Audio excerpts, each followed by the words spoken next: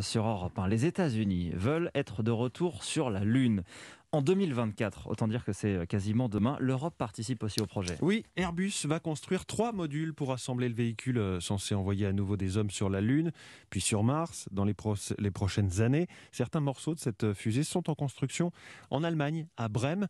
D'ailleurs, jamais la NASA n'avait auparavant confié à des industriels étrangers la fourniture d'éléments essentiels à une mission. Lors d'Autriche, vous avez pu voir de façon virtuelle à quoi ressemble cet élément dans la salle où il est fabriqué.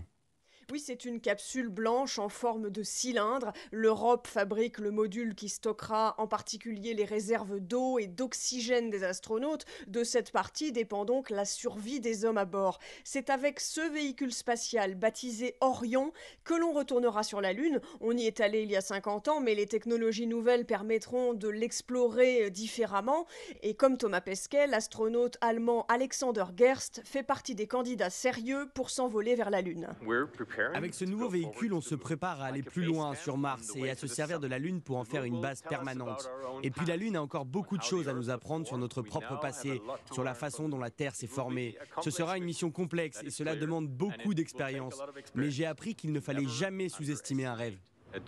Cette capsule spatiale sera d'abord testée à la fin de l'année 2021 sans humains à bord et elle sera envoyée à 70 000 km au-dessus de la Lune. Lors d'Autriche,